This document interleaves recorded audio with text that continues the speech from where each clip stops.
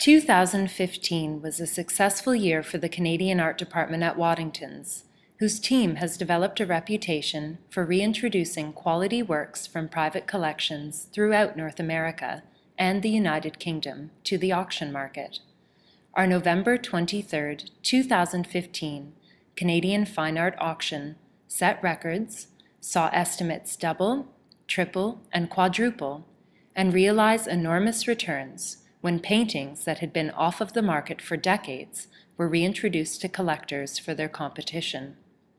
Our selections filled the Waddington sale room with color and drew crowds throughout our preview dates and on the evening of our sale.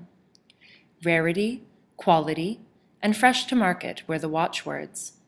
It was no surprise that lots possessing these highly sought after qualities were often those which garnered the highest hammer prices.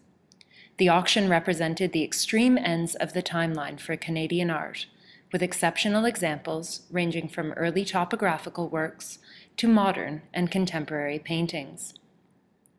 We are currently accepting consignments for our forthcoming major spring sale of important Canadian art to be held at Waddington's in Toronto on May 30th, 2016.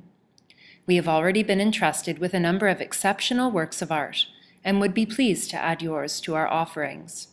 If you or anyone you know have works which you may wish to sell and would like to discuss the auction process, please contact our fine art administrator to set up an appointment.